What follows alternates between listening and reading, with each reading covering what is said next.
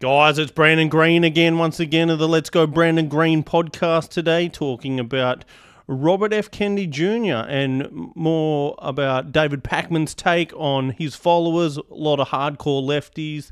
Um, there, and he's really freaking out now on what to do, and he's trying to have a bet both ways, trying to not really rubbish Robert F. Kennedy Jr. too much, because to bring you all up to speed is what's going on is Trump is obviously going to be the Republican candidate for the 2024 election.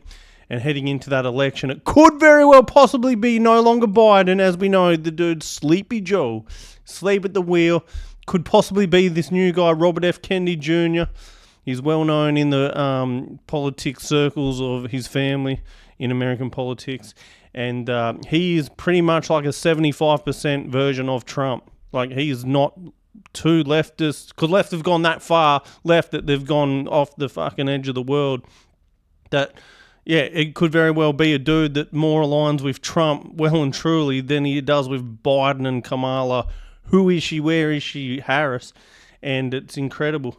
So let's get into this and see what's going on.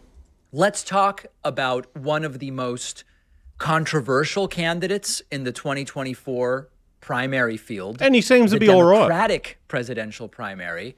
I'm talking about Robert F. Kennedy Jr.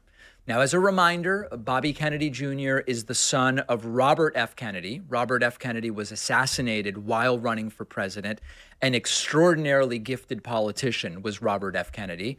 Bobby Kennedy Jr. is also the nephew of former President John F. Kennedy, who was, of course, also assassinated while serving as president. So Bobby Kennedy comes from this political dynasty that has impacted American political history for a very long time. Environmental lawyer, activist who has fought for clean water and renewable energy and climate justice, has a long record of advocacy for really important issues poverty, civil rights, healthcare, democracy, things that he truly inherited from his late father, uh, Robert Kennedy. And he's a super interesting candidate and a nice guy who I've met. I had dinner with. We have many friends in common.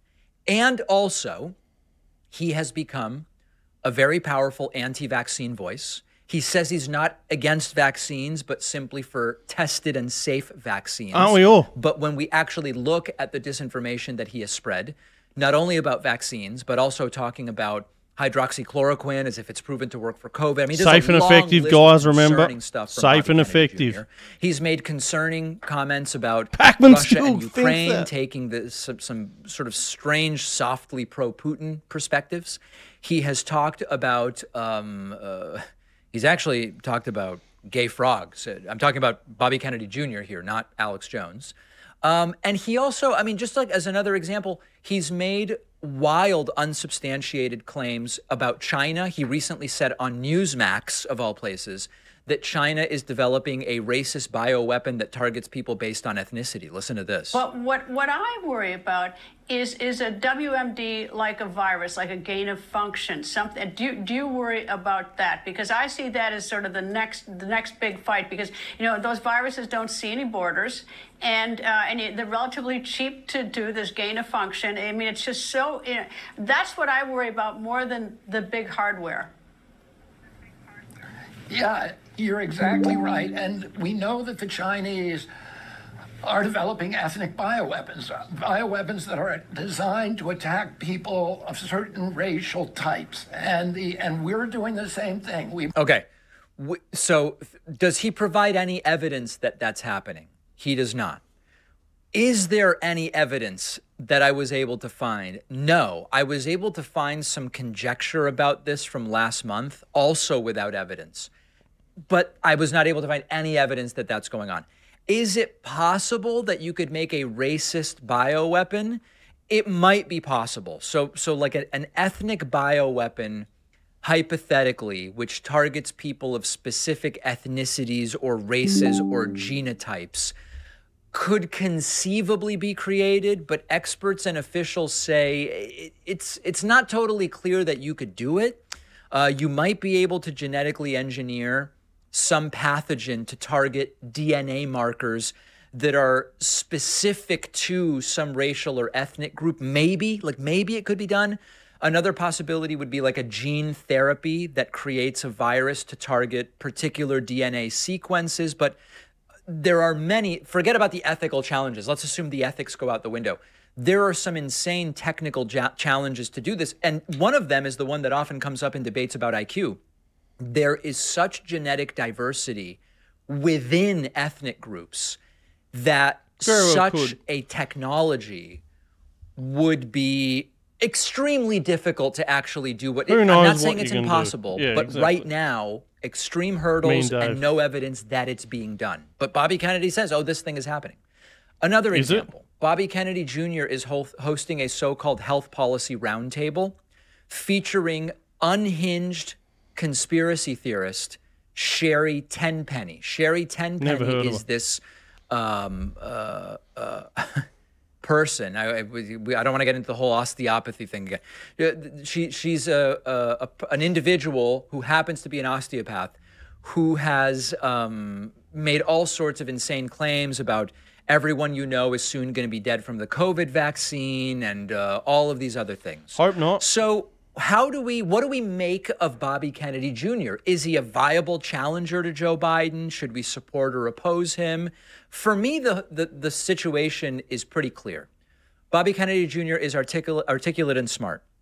He delivers really powerful speeches, even with the struggles of, of his voice, with uh, uh, spastic dysphonia. He still delivers very powerful speeches. He uh, appeals to emotion and reason in a way that clearly resonates with people. He has a personal story and a family legacy that can be inspirational to voters. He's right on many issues. When you look at health care and Green New Deal, um, minimum wage, criminal justice reform, voting rights expansion, uh, ending wars. Bobby Kennedy Jr. is right on many issues. On the other side, he is dangerously unhinged in some areas. The promotion of unproven conspiracy theories, the pseudoscience, this stuff really undermines some of the core structures that go towards public health and national security. Um, he seems disconnected with reality, quite frankly, on some of those issues.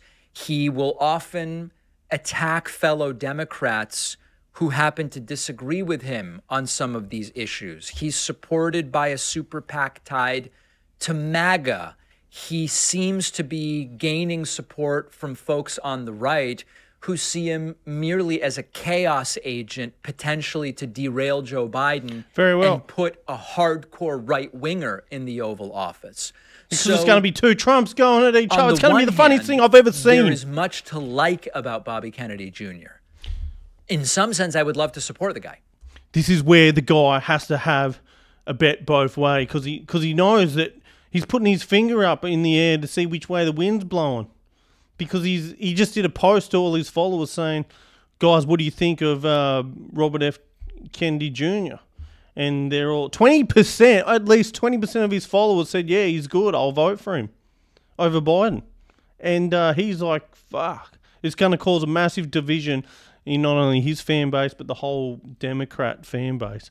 and because most of the normal people that have been brainwashed Trump's Orange Man bad, yet can't actually say why Orange Man is bad, they're all the ones that are going to be like, oh yeah, well he makes more sense than Biden because Biden doesn't make any sense, and Kamala Harris or whatever the fuck's going on, you, you know what I mean? They're all going to vote for him, and even some Republicans who are never Trumpers, they're going to but have you know they don't like Trump. They they're going to go over and vote for him as well because it's not Trump. He's just a great option for someone who's Trump, but it's not Trump. And we know Trump's a great option and the best president that there's ever been in America. So imagine if you could just get rid of the one thing about Trump that's bad about Trump, which is the fact that he's Donald Trump, then boom, you're in. But Pakman and a hardcore leftist like Pakman, he doesn't like it, and uh, neither does 80% of his followers.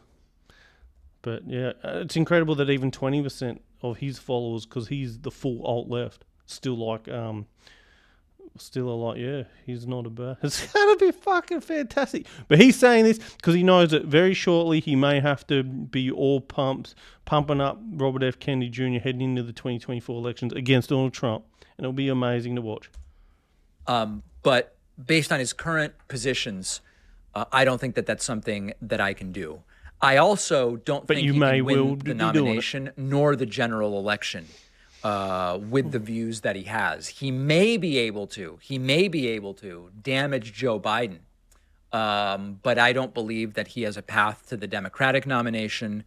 Nor am I convinced at this point that he would have a path to the presidency if he somehow got on the ballot. Let me know your thoughts. I am not just laughing him off. I'm actually giving you a, a more nuanced perspective than some are willing to give about Bobby Kennedy Jr. But at this point, it doesn't seem like in its totality, it's something that I can support. Please, please, Lord Zux,